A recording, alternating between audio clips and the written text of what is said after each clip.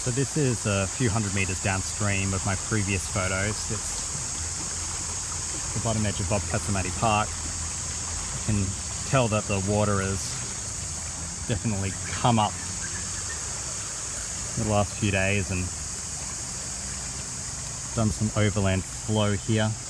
The park here is very, very low and is, you know, that's why it's a park. Look at it all go, look at all these little rivulets.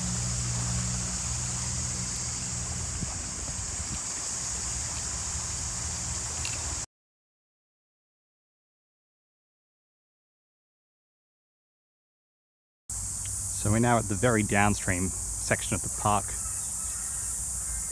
where Kedron Brook meets one of many, many, many watercourses named Cedar Creek. So this is Kedron Brook here.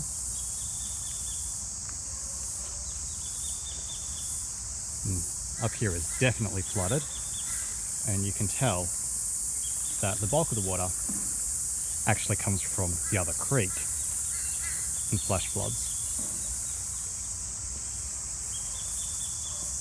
So here's Kedron Brook. There's a, a very cool little platform formed by this tree here. All the roots just holding this little bit of land together.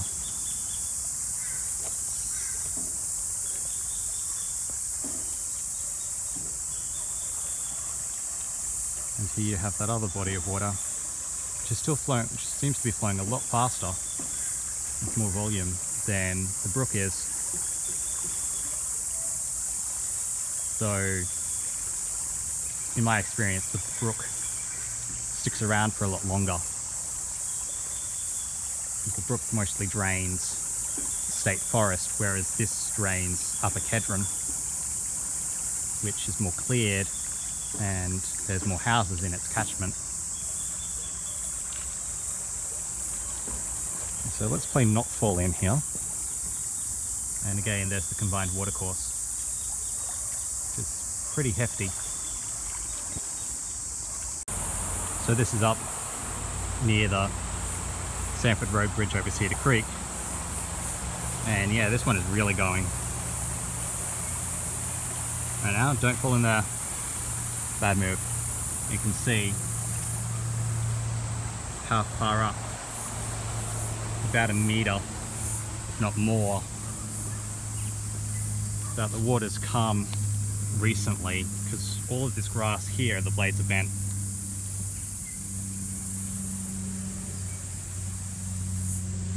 And up here, this is the start of the bridge that Samford Road takes over Cedar Creek. And it lends credence to my suggestion earlier that Cedar Creek floods a lot harder, a lot faster than Kedron Brook does. Because this is a lot bigger than the Kedron Brook Bridge. There's also the small matter, of course, that this bridge is much closer to the intersection of the two creeks. So the water tends to back up more through here, I guess.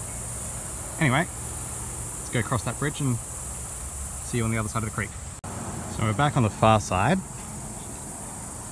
You can tell this grass here is just a little bit of an angle suggesting that there has been overland flow through here. This is the overflow for Cedar Creek. And here we are, it's the confluence from the other side. There's the Cedar Creek here. It's got a Bit of a pool forming. Look at that, look at that, look at that. Look at that backwater. Absolutely racing past the tree here. Good job tree, holding it all together.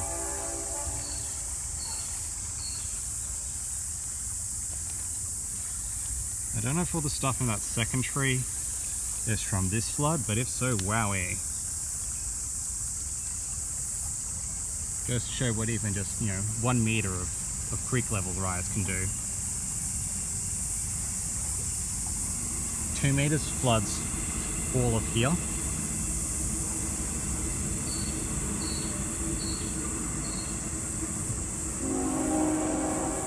And three meters, oh wow.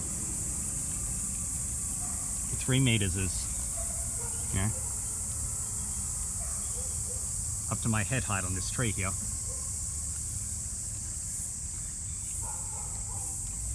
But yeah, it's definitely broken the banks here in the last couple of days. And oh, this is cool. Check this out. Look at that. So that's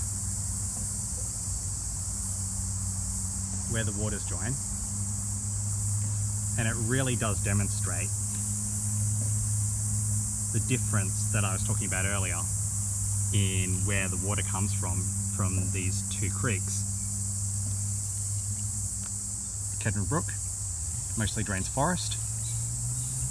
I guess there's, you know, a lot of leaf litter and stuff in that. Cedar Creek mostly drains cleared areas. They're still building housing developments in that catchment, so you know there's lots of opportunities for silt. And you can tell in the watercolours, Cedar Creek is full of silt, Kedron Brook is, well it's dark and murky, but it's a lot clearer than Cedar Creek is. And it also to an extent demonstrates the relative amounts of water that each are contributing. Cedar Creek is sort of pushing Kedron Brook out through that little section there. But it evens up a little bit, I guess. Maybe there's a something going on. And then as of, you know, here or so it starts getting a little bit too murky to tell. I'm not sure if I can get through here without hmm, completely squashing my feet, but I'll give it a go. Fuck off, mosquito.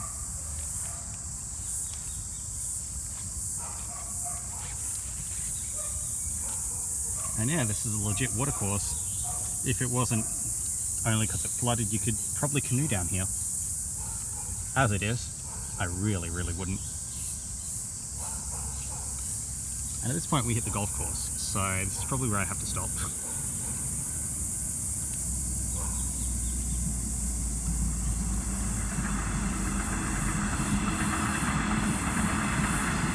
I like trains.